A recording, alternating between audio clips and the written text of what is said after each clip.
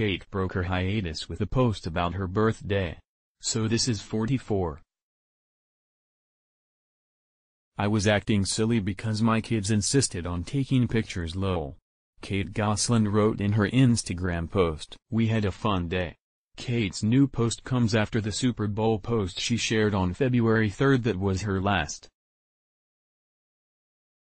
Prior to her sports celebration, Kate came under fire for a family-related post. Spoiler, it didn't show any of her kids. Folks were all sorts of mean that likely made her say, thanks, but not thanks to sharing more of her life online. Looking good, mama.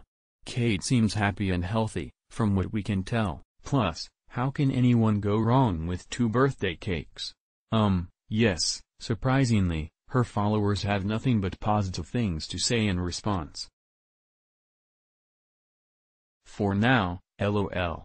It looks like many people are happy to see Kate back in action on Instagram and hope she shares more moments online, in addition to having a happy birthday, of course. Welcome back, and happy birthday. Whether you're Team Kate or Team Jon Gosselin, it's good to see people being positive in a world of super nasty folks. Even if you don't like someone, why spend the energy trying to tear them down?